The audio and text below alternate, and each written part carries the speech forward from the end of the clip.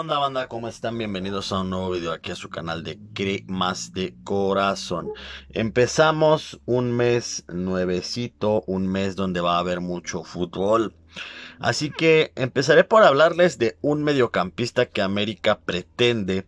Y es que ahora Jaime Seoane, canterano del Real Madrid, quien eh, tiene 24 años, juega como contención, es español, como les digo es canterano del Real Madrid. Eh, era un posible refuerzo para el América Solari lo quería porque lo conoce, al igual que Cristo González. Entonces, eh, ¿qué pasa con este jugador? Se abre nuevamente eh, la posibilidad de su llegada, aunque el técnico Ignacio Ambriz con el Huesca, que ahora ya lo anunciaron con el Huesca, que es entrenador del Huesca, lo va a tener a su mando. Todo esto pues se desata porque supuestamente ahora vinculan a, eh, a este canterano eh, del, Real Madrid con, con el América. Supuestamente está siendo buscado, al igual que Cristo González. Y el ecuatoriano que mencionamos ayer, que pues América por ahí está buscando el, refuerzo que, que, les falta. Y yo creo, yo creo que el mejor que podrían traer si es que sale eh, Richard Sánchez es José Cifuentes, porque es un jugador no tan, eh, ¿cómo decirlo? No, no decirlo no tan joven, pero sí es, es bastante joven, pero ya tiene algo de experiencia y me parece un muy buen elemento. Me, me, gusta este jugador para el América si es que llega a salir Richard Sánchez y si no sale, pues obviamente nos quedamos con el cachorro Sánchez. Pero bueno, yo sé que ustedes ya están hartos de rumor y rumor y rumor y rumor tras rumor, pero la verdad es que Solari, no sé, quiere hacer como una especie de cantera, bueno, de, de, Club América con cantera del Real Madrid. No es mala la idea porque ha funcionado bien lo de Fidalgo, pero no sé si otros jugadores puedan eh, venir a aportar tanto al América. Y es que si lo piensan, pues es como si estuviéramos jugando con la sub del Real Madrid porque todavía son chavos. Pero bueno, eso es lo que hay con Cristo González y con el otro canterano eh, del Real Madrid. Eh, lo de José Cifuentes pues todavía está un poquito en veremos, aunque les digo, América sí lo está pretendiendo y me cuentan que va a hacer el esfuerzo para traerlo. Eso nos quiere dar a decir que posiblemente Richard salga de la institución. Entonces hay que estar muy pendientes de eso. Bueno, eh, antes de continuar con eso, les voy a decir que este video va a ser un poquito, un poquito largo. Eh, pero bueno, si ustedes quieren quedarse al final del video se los agradeceré mucho. Como les digo va a ser un poquito largo porque voy a darles muchísima información de la América. Así que bueno, continuaremos con el calendario. Así que quédense hasta el final del video, se los recomiendo. Va a ser un video bastante largo pero yo sé que les va a gustar porque van a salir bien informados de todo lo que tiene que ver con el América de todos los rumores, del calendario, como les estoy diciendo, de cuándo juega el América. Entonces, vamos, vamos a, a, apurarnos a hacer el video para que no salga tan largo, aunque sí les adelanto que va a ser un poquito largo.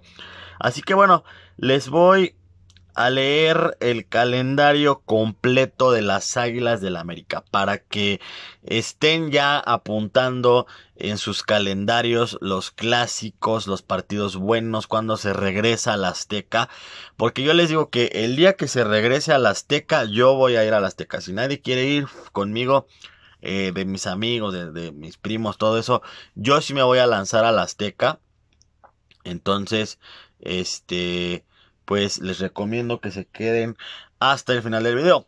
Comenzaré a leerles el calendario ya oficial del Club América para esta temporada que viene. Así que bueno, la jornada... Espérenme, se prendió la tele. Que sea un compañero bueno. Pero... Ahora resulta que tenemos fantasmas. Bueno, la jornada 1 se va a jugar contra el Querétaro. Querétaro versus América es la jornada 1. Se abre el Eh, espérenme, es que déjenme buscar eh, la fecha, porque estaría mejor buscar eh, con fecha. Pero bueno, para que vayan apuntando, apuntando en sus calendarios. Bueno, arrancará el próximo 22 de julio con el partido inaugural entre los Gallos Blancos de Querétaro contra el Club América en el Estadio Corregidora en punto de las 7 horas. Así que apúntenlo bien, empieza el 22 de julio contra Querétaro a las 7 de la noche. La segunda fecha será el sábado 31 de julio eh, sábado 31 de julio contra los Rayos del Necaxa en el Estadio Azteca a las 7 de la noche. A ese vamos a ir entonces. América Necaxa el 31 de julio a las 7 de la noche. Apúntenle, apúntenle bien. La tercera jornada se jugará eh, como local otra vez. El América volverá a jugar como local. América versus Puebla. Esa será la tercera jornada, así que América irá de local dos veces seguidas. Eh, eh, eh, Entonces, bueno, esos son como la apertura de los juegos que va a tener América. Pero el cuarto partido de América será contra Atlas en el Estadio Jalisco. la jornada 5 Juárez contra América, otra vez de visita el América en la jornada 5. América versus Tijuana en la jornada 6. Jornada 7, León versus América. Jornada 8, América contra Mazatlán. Jornada 9, Toluca contra América. Jornada 10, América Chivas en el Estadio Azteca. Jornada 10, América Chivas. Después, eh, América va de visitante. Jornada 11, América, eh, Pachuca versus América. Jornada 12, va a jugar contra Pumas en el Azteca. Entonces, ahorita vamos a platicar de eso. En la jornada 12, América contra Pumas. Jornada 13, Atlético San Luis versus América. Jornada 14, América contra Santos de local. Repite América de local. Jornada 15, América versus Tigres. Fíjense, esta seguidilla de partidos está buena. Fíjense. Primera se van a jugar los tres clásicos en el Estadio Azteca. Después, en la jornada 14, América versus Santos en el Azteca. Jornada 15, América versus Tigres en el Azteca. Jornada 16, Cruz Azul versus América, obviamente en el Azteca.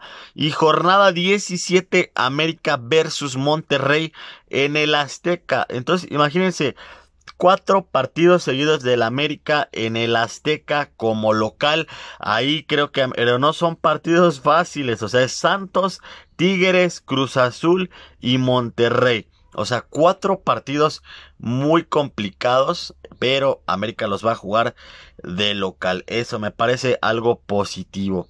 Pero bueno, ahí está eh, cuando inicia el torneo para el América y también cuando se van a jugar los clásicos. Así que ahí está el calendario. Comenten, comenten qué les parece eh, esto del Club América. O sea, ya está el calendario. Y obviamente nosotros nos lanzaremos a la Azteca el 31 de julio a ver al poderosísimo América. Y bueno, como saben, eh, la dorsal número 10 quedó vacante, pues Giovanni Dos Santos salió de la institución y era el que portaba la número 10. Por ahí muchos pensábamos que Fidalgo la iba a pedir, pero sabemos que en un equipo de fútbol también hay jerarquías. Entonces eh, sigue primero uno antes que Fidalgo y Fidalgo se queda con la número 8. Supongo que Fidalgo está agarrando la 8 por homenaje a Andrés Iniesta, ¿no? Entonces yo creo que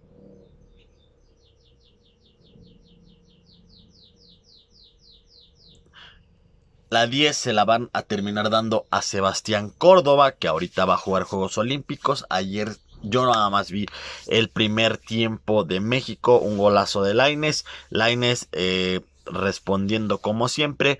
Por fin entendieron que es Laines y no Antuna.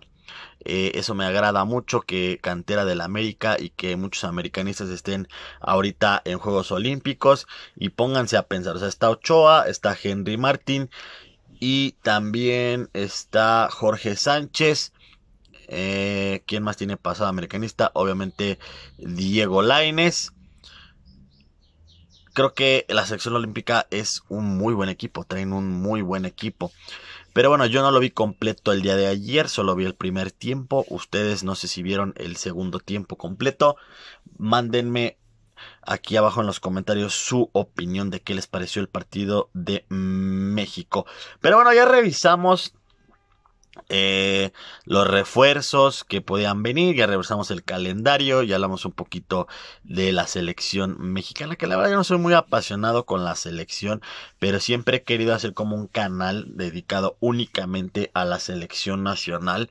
Estaría padre, pero eh, no sé, no sé, si ustedes quieren que hagamos un canal solamente de la selección nacional de México, coméntenme aquí abajo.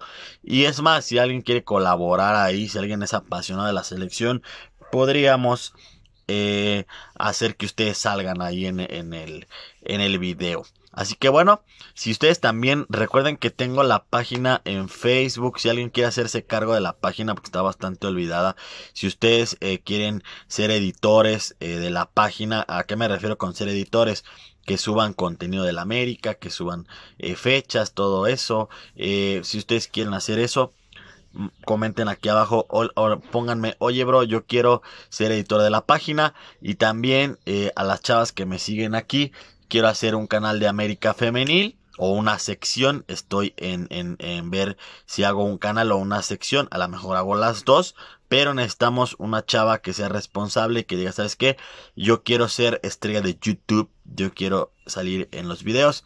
Eh, dame por favor la información también coméntenlo aquí aquí abajito y bueno antes de irme en la descripción del video les voy a dejar eh, mi código, porque descubrí una aplicación, ya ves que esto no, nadie me lo está pagando ni, está patrocinado, es que una aplicación que yo creo que ustedes ya la conocen, pero yo no la conocía, que se llama Kawaii. Supuestamente esta aplicación te paga muy bien, entonces quiero que ustedes ganen y yo ganar, porque también quiero subir videos ahí, pero todavía no sé como qué tipo de videos hacer ahí, entonces quiero pedirles de su ayuda. Les voy a dejar mi código aquí en la descripción del video.